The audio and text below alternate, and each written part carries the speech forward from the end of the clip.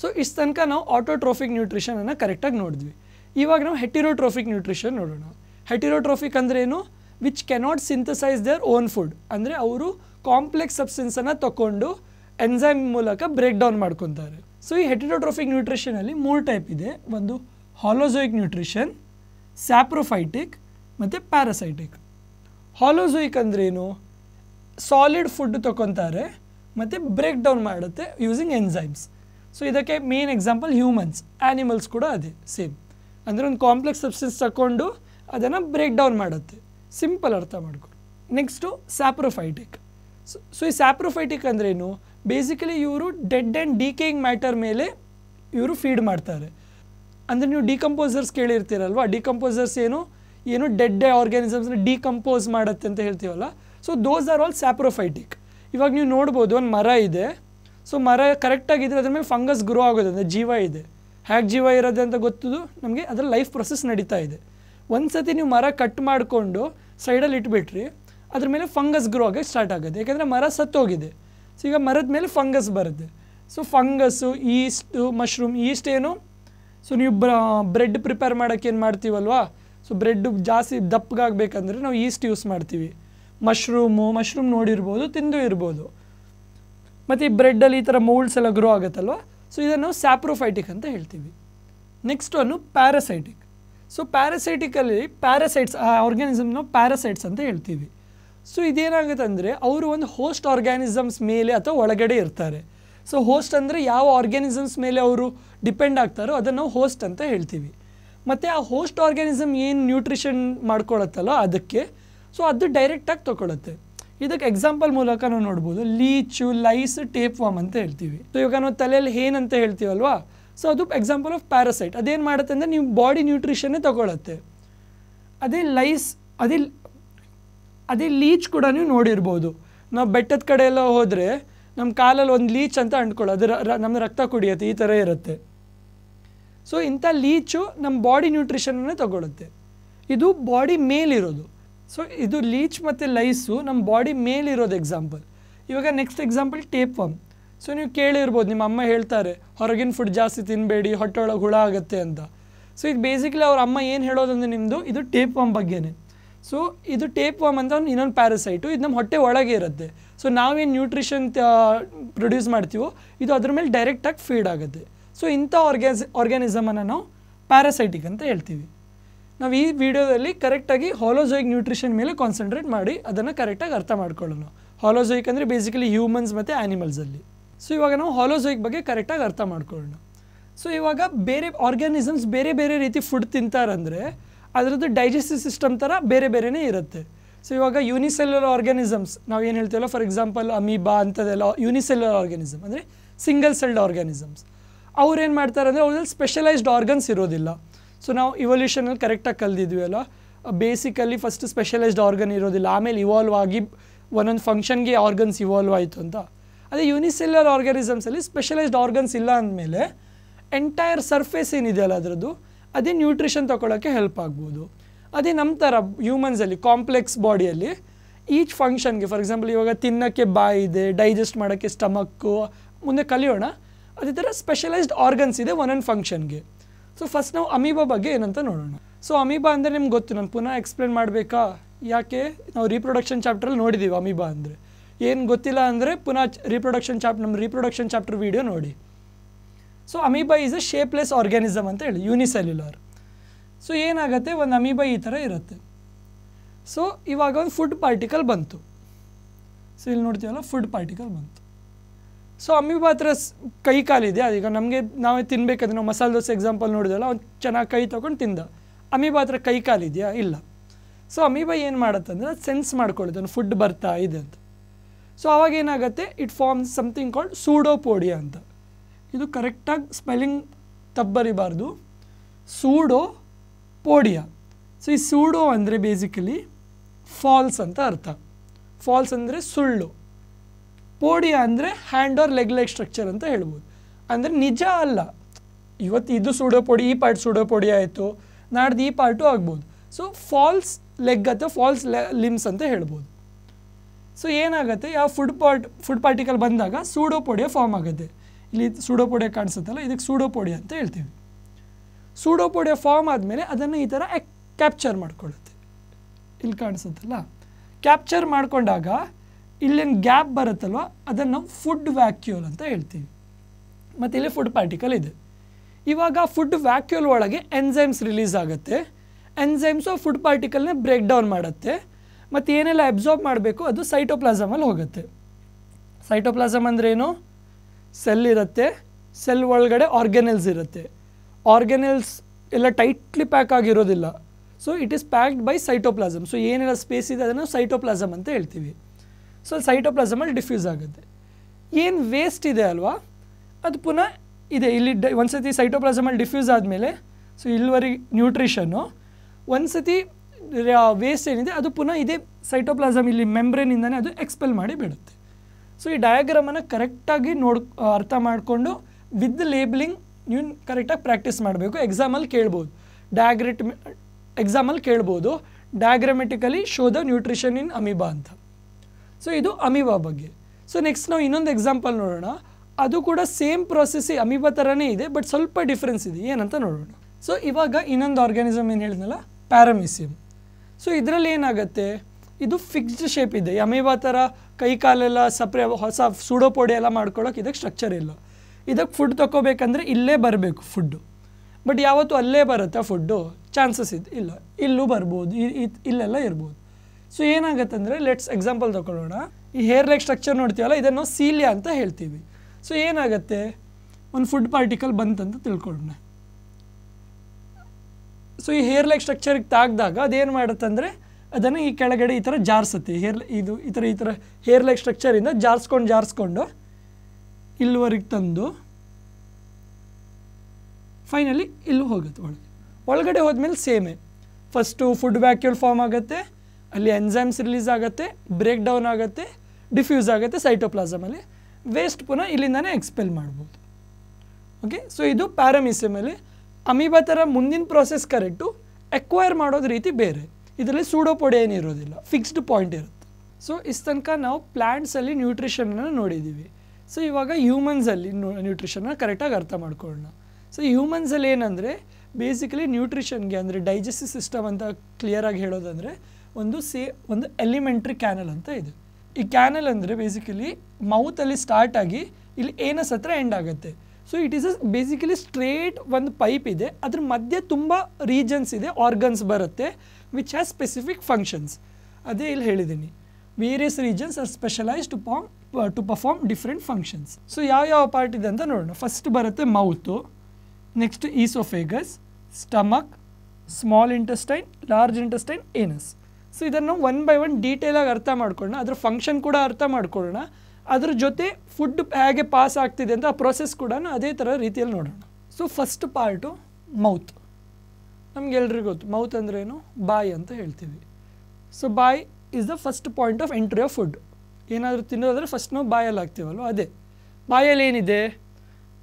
Teeths ಇದೆ. ತಂಗಿದೆ. Saliva ಇದೆ teeth ನಮಗೆ ಗೊತ್ತು. ಹಲ್ಲು, ತಂಗ್ ಗೊತ್ತು, ನಾಲ್ಗೆ. ಸಲೈವ ಅಂದರೆ ಎಂಜಿಲ್ ಅಂತ ಹೇಳ್ತೀವಲ್ಲ ಸ್ಟಿಕ್ಕಿ ವಾಟರಿ ಸಬ್ಸ್ಟೆನ್ಸ್ ಇದೆಯಲ್ಲ, ಅದನ್ನು ಸಲೈವ ಅಂತ ಹೇಳ್ತೀವಿ.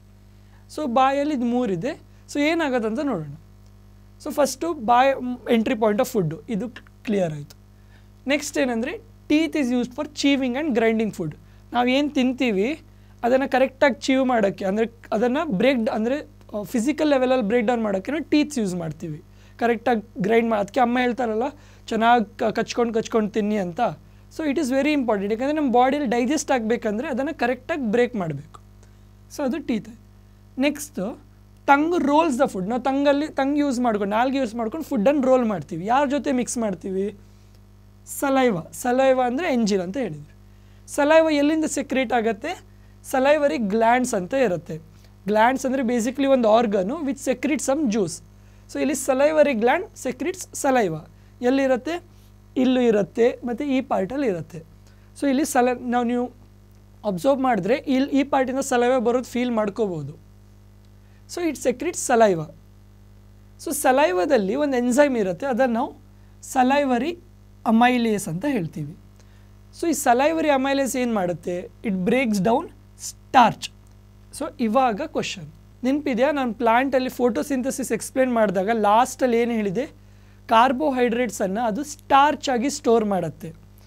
ಏನು ಹೇಳಿದ್ದೆ? Heterotrophs are directly or indirectly dependent on autotrophs ಅಂತ. ಸೊ ನಾವು ಏನು ಫುಡ್ ತಿಂತೀವಿ, ಅದರಲ್ಲಿ ಸ್ಟಾರ್ಚ್ ಇರುತ್ತೆ. ಓಕೆ ಬೇಕಾದರೆ ಪ್ಲಾಂಟ್ಸ್ ಅದನ್ನು ಆ ರೀತಿಯಲ್ಲಿ ಸ್ಟೋರ್ ಮಾಡ್ಕೊಂಡಿದೆ. ಸೊ ಈ ಸ್ಟಾರ್ಚ್ ಏನಿದೆ ಅಲ್ವಾ? ಇದನ್ನು ಬ್ರೇಕ್ ಡೌನ್ ಮಾಡುತ್ತೆ ಇಂಟು ಸಿಂಪಲ್ ಶುಗರ್ ಸೊ ಅಲ್ಲೇನಿತ್ತು? ಒಂದು ಶುಗರ್ ಇತ್ತು, ಗ್ಲೂ, ಶುಗರ್ ಫಾರ್ಮ್ ಇತ್ತು ಅದು ಗ್ಲೂಕೋಸ್. ಅದನ್ನು ಸ್ಟಾರ್ಚಲ್ಲಾಗಿ ಸೇವ್ ಮಾಡ್ಕೊಂಡಿತ್ತು. ಸೊ ಇಲ್ಲಿ ಅದರದ್ದು ಆಪೋಸಿಟ್ ಆಗ್ತಿದೆ. ಇದು ಸಲೈವರಿ ಸಹ ಸ್ಟಾರ್ಚನ್ನು ಸಿಂಪಲ್ ಶುಗರಲ್ಲಿ ಬ್ರೇಕ್ ಡೌನ್ ಮಾಡಿದ್ದೆ ಸೊ ಫಸ್ಟ್ ಸ್ಟಾರ್ಟ್ ಆಗೋದು ಫುಡ್ ಇದು ಪ್ರಾಸೆಸ್ಸು ಇಲ್ಲೇ saliva ಮೌತಲ್ಲೇ where saliva breaks down starch into simple sugar so next ನೋಡೋಣ. ಸೊ ನೆಕ್ಸ್ಟ್ ಏನಂದರೆ ನಾವು ಫುಡ್ ತಿಂದ ಮೇಲೆ ಹೊಟ್ಟೆವರೆಗೆ ಹೋಗಬೇಕು. ನಿಮ್ಗೆ ಗೊತ್ತು ಫುಡ್ ತಿಂದರೆ ಹೊಟ್ಟೆಗೆ ಹೋಗೋದಂತ ಗೊತ್ತು. ಡೈರೆಕ್ಟಾಗಿ ಹೋಗುತ್ತೆ, ಒಂದು ಫುಡ್ ಪೈಪ್ ಅಂತ ಇದೆ. ಸೊ ಒಂದು ಲಾಂಗ್ ಪೈಪ್ ಇದೆ. ಇದನ್ನು ಫುಡ್ ಪೈಪ್ ಅಥವಾ ಈಸೋಫೇಗಸ್ ಅಂತ ಹೇಳ್ತೀವಿ. ಸೊ ಇಲ್ಲಿ ಓ ಈಸೋಫೇಗಸ್ ಅಂತ ಹೇಳಬಾರ್ದು. ಮತ್ತು ಬರಿಬೇಕಾದರೂ ಬರೀ ಈಸೋಫೇಗಸ್ ಅಂತ ಬರಿಬಾರ್ದು. O is silent here okay so ಈಸೋಫೇಗಸನ್ನು food pipe ಏನು ಹೇಳ್ತೀವಲ್ಲ, ಅದರಿಂದ ಹೊಟ್ಟೆಗೆ ಹೋಗುತ್ತೆ. ಸೊ ಈಸೋಫೇಗಸಲ್ಲಿ ಒಂದು ಪೆರಿಸ್ಟಾಲ್ಟಿಕ್ ಮೂಮೆಂಟ್ ಅಂತ ಇರುತ್ತೆ. ಆ್ಯಕ್ಚುಲಿ ಫುಲ್ ಎಲಿಮೆಂಟ್ರಿ ಕ್ಯಾನಲಲ್ಲಿ ಫುಡ್ ಕೆಳಗಡೆ ಹೋಗಬೇಕಾದ್ರೆ ಪೆರಿಸ್ ಪೆರಿಸ್ಟಾಲ್ಟಿಕ್ ಮೂಮೆಂಟೇ ಇರುತ್ತೆ. ಸೊ ಈ ಪೆರಿಸ್ಟಾಲ್ಟಿಕ್ ಮೂಮೆಂಟ್ ಅಂದರೆ ಏನು? ಸೊ ಇಲ್ಲಿಯೂ ನೋಡ್ಬೋದು. ಏನಾಗುತ್ತೆ ಅಂದರೆ ಒಂದು ಫುಡ್ ಪೈಪ್ ಸಪೂರವಾದ ಪೈಪು ನಾವೇನಾದ್ರು ತಿಂದರೆ ಅದು ಸ್ಟಕ್ ಆಗುತ್ತೆ. ಅಂದರೆ ಜಾ ಅದ್ರ ಫುಡ್ ಪೈಪ್ಗಿಂತ ಜಾಸ್ತಿ ದಪ್ಪ ಇದ್ದರೆ ಸ್ಟಕ್ ಆಗುತ್ತೆ. ಸೊ ಏನಾಗುತ್ತೆ? ಫುಡ್ ಪೈಪಲ್ಲಿ ಏನು ಮಸಲ್ಸ್ ಇದೆ ಅಲ್ವಾ? ಅದು ಕಾಂಟ್ರಾಕ್ಟ್ ಮತ್ತು ಎಕ್ಸ್ಪಾಂಡ್ ಆಗುತ್ತೆ. ಅಂದರೆ ಇವಾಗ ಕೆಳಗೆ ಹೋಗ್ಬೇಕಂದ್ರೆ ಮೇಲಿನ ಪಾರ್ಟ್ ಕಾಂಟ್ರಾಕ್ಟ್ ಆಗುತ್ತೆ. ಅವಾಗ ಇದು ಕೆಳಗೆ ಜಾರ್ ಬಿಡುತ್ತೆ. ಅದೇ ಥರ ಕಾಂಟ್ರಾಕ್ಟ್ ಎಕ್ಸ್ಪಾಂಡ್ ಆಗಿ ಫುಡ್ ಕೆಳಗೆ ಹೋಗುತ್ತೆ. ಅದಕ್ಕೆ ಇಂಪಾರ್ಟೆಂಟ್ ನಾವು ಹೇಳ್ದಲ್ಲ ಕಚ್ಕೊಂಡು ತಿನ್ನಬೇಕು ಎಷ್ಟು ಸ್ಮಾಲ್ ಆಗಿರುತ್ತೆ, ನಾವು ಕಚ್ತೀವಿ. ಎಷ್ಟು ಚೆನ್ನಾಗಿ ಗ್ರೈಂಡ್ ಮಾಡ್ತೀವಿ. ಅಷ್ಟು ಈಸಿಲಿ ಹೊಟ್ಟೆ ಒಳಗೆ ಹೋಗುತ್ತೆ. ಸೊ ಹಾಗೆ ನಾವು ನುಂಗ್ಬಿಟ್ರೆ ಪೈಪಲ್ಲಿ ಅದು ಫುಡ್ ಟ್ರಾವೆಲ್ ಆಗೋಕ್ಕೆ ಕಷ್ಟ ಆಗುತ್ತೆ. ಸೊ ಅದಕ್ಕೆ ಚೆನ್ನಾಗಿ ಯಾವುದು ಕಚ್ಕೊಂಡು ತಿನ್ನಬೇಕು ಸೊ ಆಯಿತು ಪೆರಿಸ್ಟಾಲ್ಟಿಕ್ ಮೂಮೆಂಟ್ ಆಯಿತು ಫುಡ್ ಹೋಗುತ್ತೆ ಎಲ್ಲಿ ಹೋಗುತ್ತೆ ಫುಡ್ಡು ಫುಡ್ ಹೋಗಿ ಸೀದಾ ಇಲ್ಲಿ ಸ್ಟಮಕ್ ಹತ್ರ ಹೋಗುತ್ತೆ. ಸೊ ಇವಾಗ ಫುಡ್ಡು ನಮ್ಗೆ ಕರೆಕ್ಟಾಗಿ ಪ್ರೊಸೆಸ್ ಕೂಡ ನಾವು ಅರ್ಥ ಪಾರ್ಟ್ ಜೊತೆ ಪ್ರೊಸೆಸ್ ಕೂಡ ಅರ್ಥ ಮಾಡ್ಕೋತಿದ್ದೀವಲ್ಲ? ಫಸ್ಟ್ ಫುಡ್ ಬಾಯಲ್ಲಿ ಬಂತು, ಅಲ್ಲಿ ಫಸ್ಟ್ ಏನಾಯಿತು? ಗ್ರೈಂಡಿಂಗ್ ಆಯಿತು ಸಲೈವರಿ ಅಮೈಲೇಸು ಸಿಂಪಲ್, ಇದು ಸ್ಟಾರ್ಚನ್ನು ಸಿಂಪಲ್ ಶುಗರಲ್ಲಿ ಬ್ರೇಕ್ ಡೌನ್ ಮಾಡ್ತು. ಈಸೋಫೇಗಸಲ್ಲಿ ಪೆರಿಸ್ಟಾಲ್ಟಿಕ್ ಮೂಮೆಂಟಿಂದ ಸ್ಟಮಕ್ವರೆಗೆ ಬಂತು. ಸೊ ನೆಕ್ಸ್ಟ್ ಇವಾಗ ಸ್ಟಮಕಲ್ಲಿ ಏನಾಗುತ್ತೆ ಅಂತ ನೋಡೋಣ. ಸೊ ಇವಾಗ ಸ್ಟಮಕ್ ಸೊ ನಮ್ಗೆ ಗೊತ್ತು ಸ್ಟಮಕ್ ಅಂದರೆ ನಾವು ಯೂಶಲ್ ಆಗಿದೆ ಹೊಟ್ಟೆ ಅಂತ ಹೇಳಿದ್ರೆ ಸ್ಟಮಕ್ ಸೊ ಇದೇನು it is a large organ which expands when food enters so food ಪೈಪಿಂದ food ಬರುತ್ತಲ್ವ, ಆವಾಗ ಅದು ಸ್ವಲ್ಪ ಎಕ್ಸ್ಪಾಂಡ್ ಆಗುತ್ತೆ. ಸೊ ಇದರಲ್ಲಿ ಒನ್ ಬೈ ಒನ್ ಫಂಕ್ಷನ್ ನೋಡೋಣ. First one muscular wall churns the food ಅರ್ಥ ಏನು? ಏನು ಸ್ಟಮಕ್ ಇದೆ ಅಲ್ವಾ? ಅದು ಫುಡ್ಡನ್ನು ಮಿಕ್ಸ್ ಮಾಡುತ್ತೆ ಅಂತ. ಅಂದರೆ ಒಂಥರ ಗ್ರೈಂಡ್ ಗ್ರೈಂಡರ್ ಥರ ಹೇಳ್ಬೋದು. ಓಕೆ ಸೊ ಅದು ಮಿಕ್ಸ್ ಮಾಡುತ್ತೆ. ಅದು ಫುಡ್ ಸ್ಟಮಕ್ ಒಂದು ಮಸ್ಕ್ಯುಲರ್ ವಾಲ್ ಅಲ್ವಾ? ಸೊ ಅದು ಮಿಕ್ಸ್ ಮಾಡುತ್ತೆ. ಇವಾಗ ಕ್ವಶನ್ ಯಾವ ಜೊತೆ ಮಿಕ್ಸ್ ಮಾಡುತ್ತೆ ಅಂತ? ಸೊ ಏನಾಗುತ್ತೆ ಅಂದರೆ ಸ್ಟಮಕ್ ಇದು ಇನ್ನರ್ ವಾಲ್ಸಲ್ಲಿ ಗ್ಯಾಸ್ಟ್ರಿಕ್ ಗ್ಲ್ಯಾಂಡ್ಸ್ ಅಂತ ಇರುತ್ತೆ. ಈ ಗ್ಯಾಸ್ಟ್ರಿಕ್ ಗ್ಲ್ಯಾಂಡ್ಸು ಇವಾಗ ಗ್ಲ್ಯಾಂಡ್ಸ್ ಅಂದಮೇಲೆ it secrete some juice so ಏನು ರಿಲೀಸ್ ಮಾಡುತ್ತೆ ಅದು? First one hydrochloric acid second one protein digesting enzyme called pepsin third one mucus so ಈ ಗ್ಯಾಸ್ಟ್ರಿಕ್ ಗ್ಲ್ಯಾಂಡ್ಸು ಮೂರು ಸೆಕ್ರೀಟ್ ಮಾಡ್ತಿದೆ. ಇದು ಮೂರು ಒಂದು ಒಬ್ರೊಬ್ರ ಜೊತೆ ಇಂಪಾರ್ಟೆಂಟ್ ಹೇಗಂತ ನೋಡೋಣ. ಫಸ್ಟು ಪೆಪ್ಸಿನ್ ನೋಡೋಣ. ಪೆಪ್ಸಿನ್ ಇಲ್ಲೇ ಬರೆದಿದ್ದೀನಿ ನಾನು. ಪ್ರೋಟೀನ್ ಡೈಜೆಸ್ಟಿಂಗ್ ಎನ್ಸೈಮ್ ಅಂದರೆ ನಾವು ಏನು ಪ್ರೋಟೀನ್ ತಿಂತೀವಿ, ಅದನ್ನು ಡೈಜೆಸ್ಟ್ ಮಾಡಬೇಕಾದ್ರೆ ಪೆಪ್ಸಿನ್ ಬೇಕು. ಕರೆಕ್ಟ್ ಸೊ ಪೆಪ್ಸಿನ್ ಇದು ನಮಗೆ ಅರ್ಥ ಆಯ್ತು. ಪ್ರೋಟೀನ್ ಡೈಜೆಸ್ಟ್ ಮಾಡೋಕ್ಕೆ ಅಂತ. ಬಟ್ ಇದು ಪೆಪ್ಸಿನ್ ಏನಿದೆ ಅಲ್ವಾ? ಅದು ವರ್ಕ್ ಆಗಬೇಕಂದ್ರೆ ಅದಕ್ಕೆ ಅಸಿಡಿಕ್ ಮೀಡಿಯಮ್ ಬೇಕು. ಅಸಿಡಿಕ್ ಮೀಡಿಯಮ್ ಇದ್ದರೆ ಮಾತ್ರ ಈ ಪೆಪ್ಸಿನ್ಗೆ ಕೆಲಸ ಮಾಡೋಕ್ಕಾಗೋದು. ಸೊ ಅಸಿಡಿಕ್ ಮೀಡಿಯಮ್ ಎಲ್ಲಿಂದ ಸಿಗ್ತಿದೆ? ಇಲ್ಲಿ. Hydrochloric acid so hydrochloric acid ಏನಿದೆಯಲ್ಲೋ ಅದು ಅಸಿಡಿಕ್ ಮೀಡಿಯಮ್ ಜನ್ರೇಟ್ ಮಾಡುತ್ತೆ. ಇವಾಗ ನಿಮ್ಗೆ ಎಲ್ರಿಗೂ ಆ್ಯಸಿಡ್ ಅಂದರೆ ಏನಂದ್ರೂ ಗೊತ್ತು. ಆ್ಯಸಿಡ್ ಏನು? Which releases H plus ions ಅದು ಡೆಫಿನೇಷನ್ ಪ್ರಕಾರ. ಬಟ್ ನಮ್ಗೆ ಅದರ ನೇಚರ್ ಕೂಡ ಗೊತ್ತು. ಏನು? ಆ್ಯಸಿಡ್ ಈಸ್ ವೆರಿ ಕೊರೋಸಿವ್ ಅಂತ ಹೇಳ್ತೀವಿ. ಆ್ಯಸಿಡಲ್ಲಿ ಮುಟ್ರೆ ಉರಿ ಆಗುತ್ತೆ ಅಂತೆಲ್ಲ.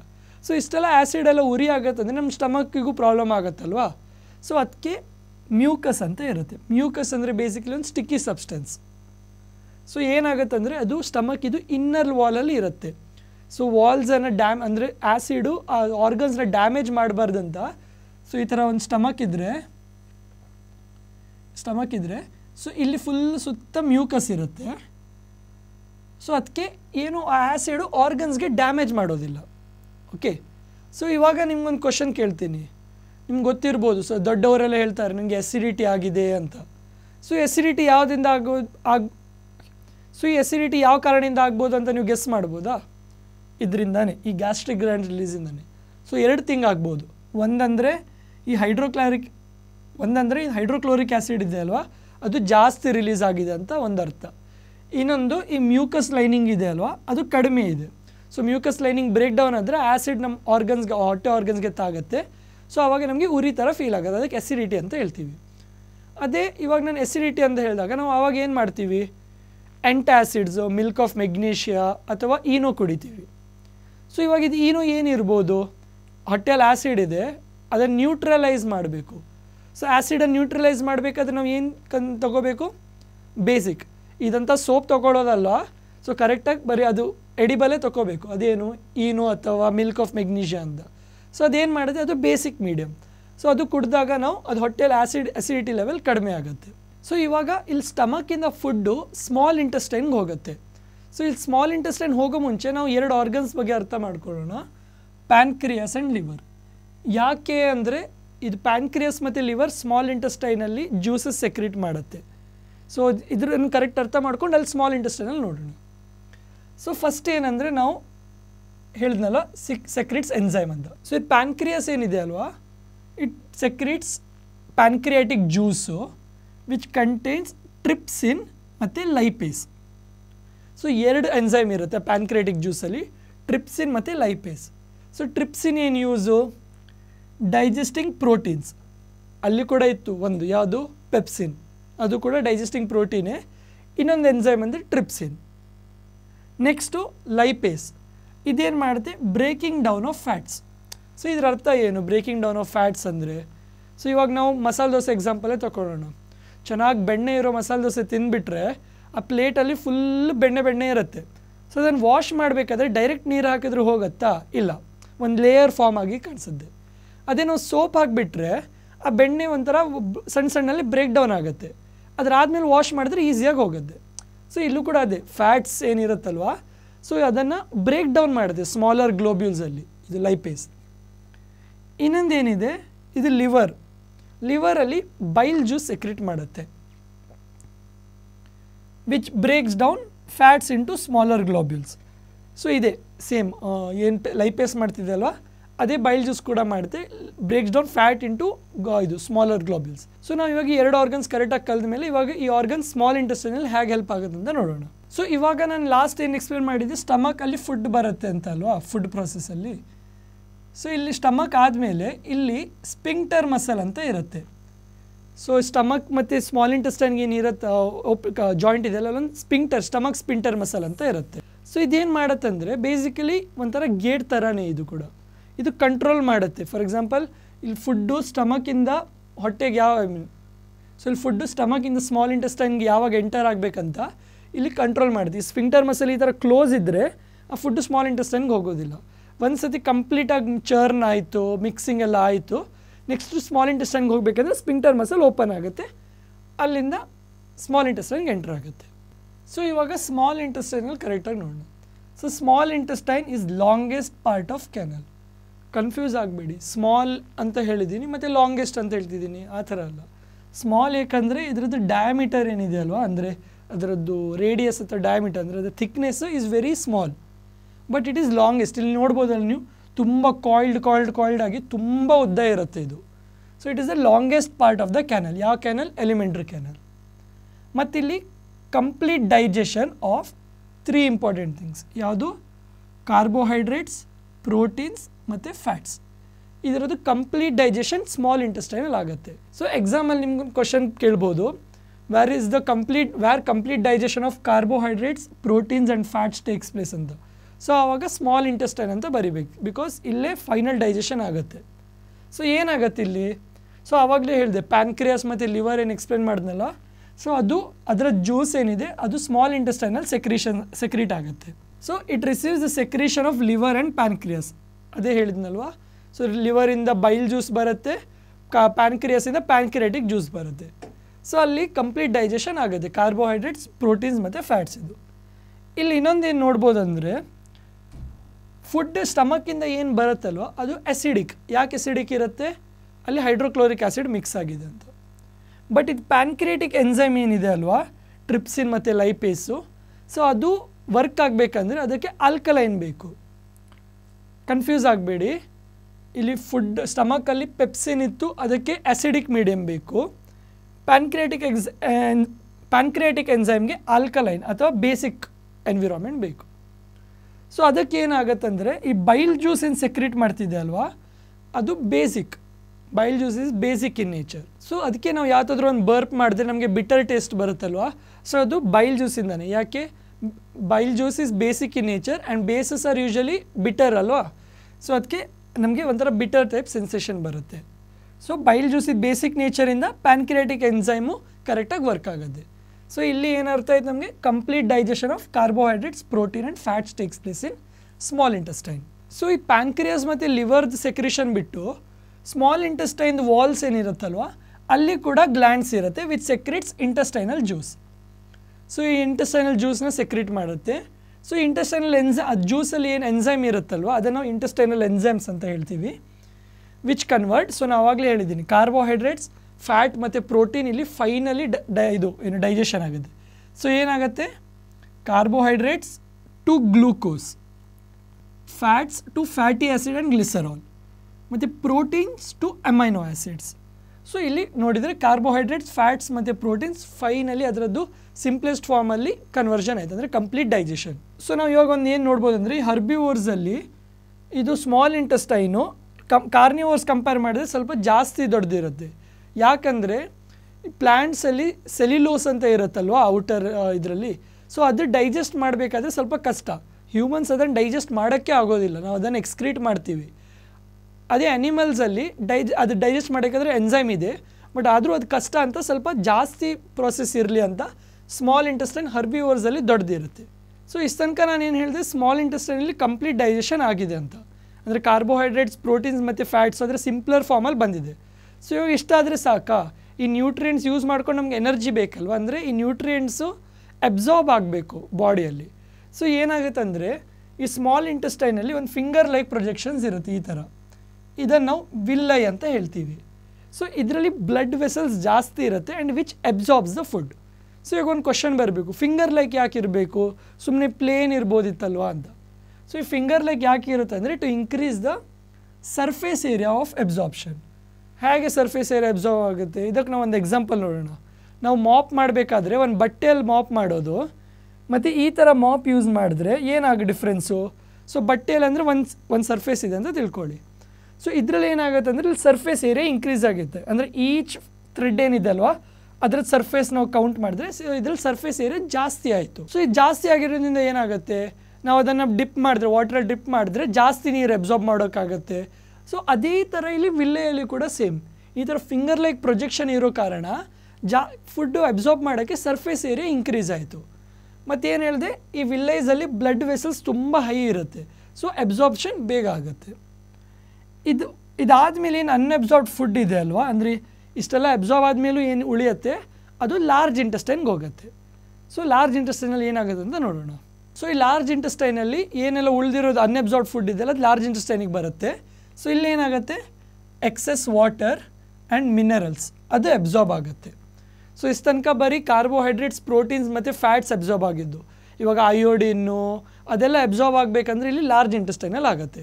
ಮತ್ತು ಇನ್ಕ್ಲೂಡಿಂಗ್ ವಾಟರ್ ವಾ ಎಕ್ಸಸ್ ವಾಟರ್ ಏನಿದ್ರೆ ಅದು ಅಬ್ಸಾರ್ಬ್ ಆಗುತ್ತೆ. ಸೊ ಇದೆಲ್ಲ ಅಬ್ಸಾರ್ಬ್ಷನ್ ಆದಮೇಲೆ ಇನ್ನೇನು ಉಳಿಯುತ್ತೆ? ಅದು ಬಾಡಿ ವೇಸ್ಟು ಸೊ ಇದನ್ನು ಎಕ್ಸ್ಕ್ರೀಟ್ ಮಾಡಬೇಕು. ಸೊ ಇದು ಥ್ರೂ ಏನಸ್ಸು ಎಕ್ಸ್ಕ್ರೀಟ್ ಆಗುತ್ತೆ. ಇಲ್ಲಿ ಏನಲ್ ಸ್ಪಿಂಟರ್ ಅಂತ ಇರುತ್ತೆ. ಆವಾಗ ನಾವು ಸ್ಟಮಕಲ್ಲಿ ಕೂಡ ಸ್ಪಿಂಟರ್ ಮಸಲ್ ನೋಡಿದ್ದೀವಿ ಏನು ಮಾಡುತ್ತೆ? ಒಂಥರ ಗೇಟ್ ಮೆಕ್ಯಾನಿಸಮ್ ಥರ. ಹೊರಗಡೆ ಹೋಗಬೇಕಂದ್ರೆ ಅದು ಗೇಟ್ ಓಪನ್ ಆಗುತ್ತೆ. ಸೊ ಅದೇ ಥರ ಇಲ್ಲಿ ಏನಲ್ ಸ್ಪಿಂಟರ್ ಅಂತ ಇರುತ್ತೆ. ಸೊ ಅದು ನಿಮ್ಗೆ ಯಾವಾಗ ಎಕ್ಸ್ಕ್ರೀಟ್ ಮಾ ಎಕ್ಸ್ಕ್ರೀಟ್ ಆಗಬೇಕು, ಆವಾಗ ಏನಲ್ ಸ್ಪಿಂಟರ್ ಓಪನ್ ಆಗುತ್ತೆ. So you excrete it so ಇಲ್ಲಿಗೆ ಡೈಜೆಸ್ಟಿವ್ ಸಿಸ್ಟಮ್ ಅಂದರೆ ಟೋಟಲ್ ನ್ಯೂಟ್ರಿಷನ್ ಮುಗಿಯುತ್ತೆ. ಸೊ ನಾವು ನೋಡಿದ್ವಿ ಹೇಗೆ ಫುಡ್ ನಾವು ಇಂಟೇಕ್ ಮಾಡ್ತೀವಿ ಯೂನಿಸೆಲ್ಲರ್ ಆರ್ಗ್ಯಾನಿಸಮು ನೋಡಿದ್ದೀವಿ ನಂತರ ಕಾಂಪ್ಲೆಕ್ಸ್ ಮಲ್ಟಿಸೆಲ್ಲರ್ ಆರ್ಗ್ಯಾನಿಸಮಲ್ಲೂ ನೋಡಿದ್ದೀವಿ ಹೇಗೆ ಮಲ್ಟಿಸೆಲ್ಲರ್ ಆರ್ಗ್ಯಾನಿಸಮ್ನಲ್ಲಿ ಫುಡ್ ತೊಗೊಂಡ್ಮೇಲೆ ಹೇಗೆ ಡೈಜೆಷನ್ ಆಗುತ್ತೆ, ಹೇಗೆ ಫುಡ್ ಎಬ್ಸಾರ್ಬ್ ಆಗುತ್ತೆ. ಸೊ ಇದು ಎಬ್ಸಾರ್ಬ್ಷನ್ನ ಕರೆಕ್ಟ್ ನೆನ್ಪಿಡ್ಕೋಬೇಕು ಮುಂದೆ ಇದು ಎಬ್ಸಾರ್ಬ್ ಆಗಿದ್ದು ಹೇಗೆ ಎನರ್ಜಿ ಕನ್ವರ್ಟ್ ಆಗುತ್ತೆ ಅಂತ ನಾವು ಮುಂದೆ ನೋಡ್ತೀವಿ. ಸೊ ಇದು ಎಬ್ಸಾರ್ಬ್ ಆದಮೇಲೆ ಆಮೇಲೆ ಎಕ್ಸ್ಕ್ರೀಷನ್ ಅಂತ ಕರೆಕ್ಟಾಗಿ ನೋಡಿದ್ದೀವಿ So next life process is respiration.